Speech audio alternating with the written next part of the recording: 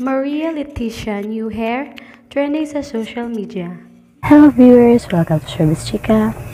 Chikahan na naman tayo mga kachika. Leticia updates tayo, or Maria Leticia, na pangalan na anak ni Marian Rivera. Sa IG stories kasi ni Marian ay pinusa doon, doon na nakapink ka na kanyang anak na si Leticia.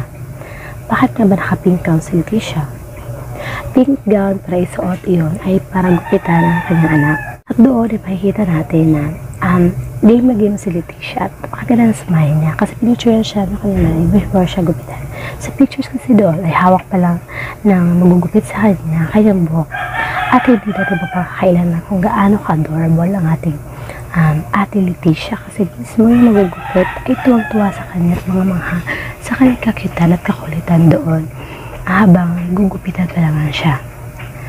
At for mga updates mga kachika, ay huwag kalimutan mag-like, leave a comment, and subscribe sa my channel para makita nyo kung ano ang resulta ng gupit ni Maria Leticia or Ate Zea na anak nila Marian Rivera at Dingdong Dantes. Thank you for watching mga chika. Till next time.